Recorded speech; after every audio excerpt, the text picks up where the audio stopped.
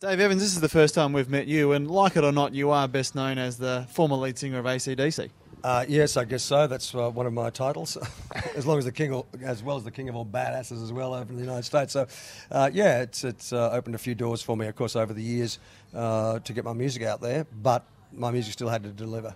Uh, because people, you know, a lot of the critics out there, uh, you know, they, they want to get savage with me and, and try to stick the, the knife into me. Uh, but when they hear my music, uh, that uh, shuts them up. So it's good. So, do you get a bit tired of, of becoming known as the first lead singer of ACDC? Is that a title that you're not enthused about? Well, you know, it's as I say, it, it does get tiresome at times. Um, but but people that, that know me over the years when I've when I've toured uh, overseas, uh, they know my music. They've got my albums, and uh, I'm Dave Evans. Uh, and also, I was the original lead singer of ACDC Yep. as well. But as I say, I've got to del- deliver with my music, and uh, and that's fine by me. Um, it stands up on its own. So. How did your voice differ from Bon's? Like, had you been the lead singer of ACDC, how was your the tone of your voice different? Um, I don't know. I suppose I, I was very young. I was about 20 years old. So uh, Bon was uh, older than us. He was about 29 or something. Uh, Were you also that raspy sort of singer?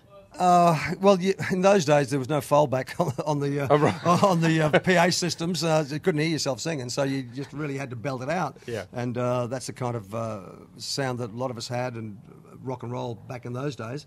Um, they said you couldn't hear yourself. You just screamed as loud as you could and Hope for the best. Hope for the best. You know? So, I mean, could that be a, a reason why that era of music is synonymous with a raw sound? Could it be as basic as that?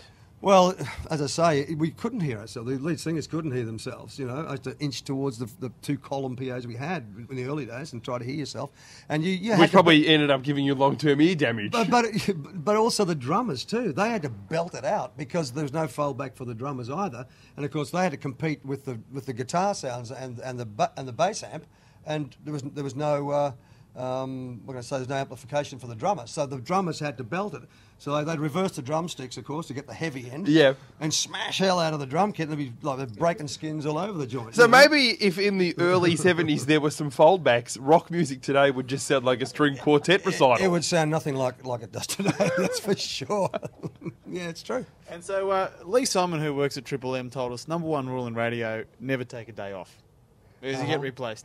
Is that sort of what happened at ACDC? No, not really. Um, we were having we were having a fantastic time at first, and we, and we were all you know friends and things. And I used to bunk, you know bunk with Malcolm, you know, when we toured and things. Uh, but you know, th- it's like any family, mate. Um, you know, you look at your own family, and in the end, uh, a lot of people have their own worst enemies in their own family at times, even though they, uh, it shouldn't be like that. And so I've got nothing against the guys uh, from ACDC. In fact, you know, I think it's fantastic what they've done. It's been amazing. Uh, it's an amazing phenomenon. It's just really amazing, and it's been great for Australian rock too. Don't forget they are Australians, even though you know they.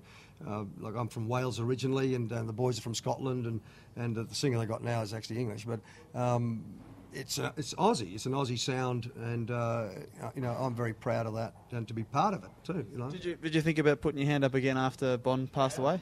not really. I mean, when when we split, it was like a final thing. It's like when you get divorced from your from your wife or something. What are you going to get remarried?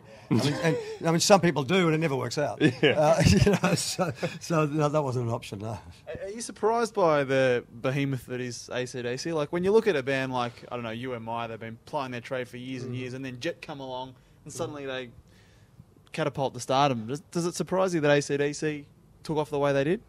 Um, well, no, not really. Um, the band was always uh, always a great band. When we, when we first played, we always smashed it. From we always had the energy. You know, we always had that, that great energy and, and belief in ourselves. Um, and uh, you know, they used to always talk about you know, Malcolm and Angus would always talk about taking the world on and all that kind of stuff. So it wasn't something that just kind of happened. It was it, it was uh, they knew what they wanted and uh, and they went ahead and did it. But it's amazing that that's happened the way it has. Um, and it's just fantastic. I suppose the only other band to compare with them would be like the Rolling Stones, you know.